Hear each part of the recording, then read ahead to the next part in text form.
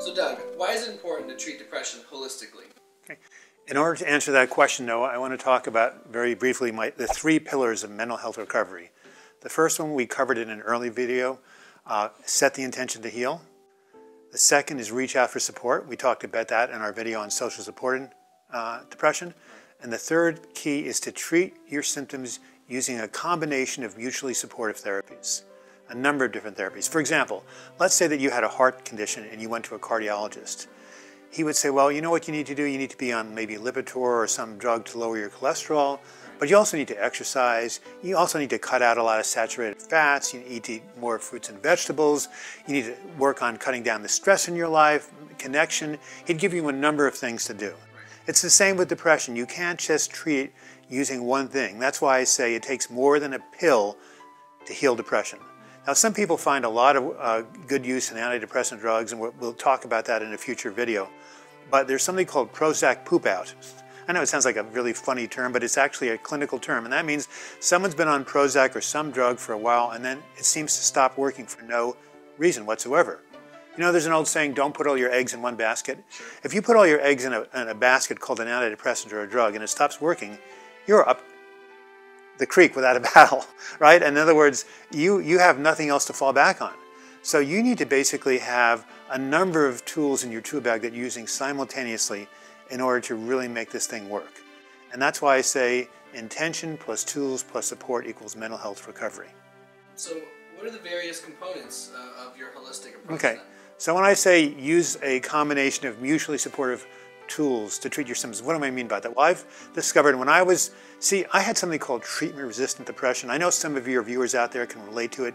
You try drug after drug, you know, course after course, and nothing's making you get better, and you pretty soon you're figuring out, what the hell? I mean, you're thinking, I'm never going to get better. This is horrible. And so what the psychiatrist told me was that they didn't have any drugs that were going to help me. So I was on my own.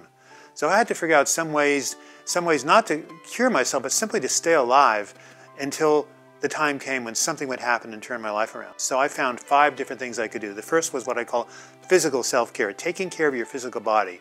We're going to be talking about these things in future episodes in much greater detail. Exercise was huge for me. Changing my diet, getting off of sugar and caffeine, getting massages, you know, going swimming, getting the right amount of sleep. That's called physical self-care. That's the first point.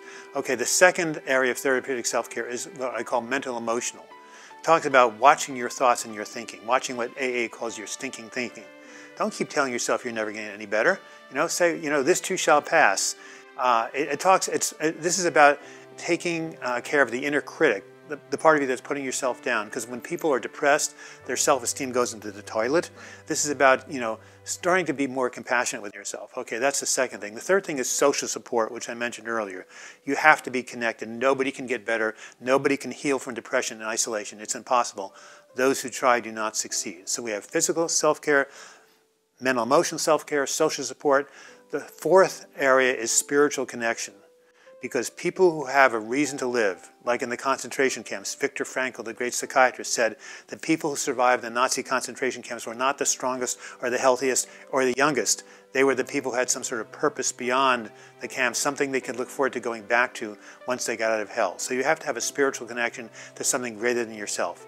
And the fifth area is what I call lifestyle habits, which is very simple things we'll be talking about, like having structure and routine, getting out in nature, you know, exposing yourself to uplifting music, all these little tricks you can use, having pleasurable activities in your life. Uh, these little tricks you can use to add to everything else you're doing. So you have those five areas, physical, emotional, mental, spiritual, social, and lifestyle habits, and now you have the five areas of therapeutic self-care, which when you do those and you combine them with support and intention, you will get well.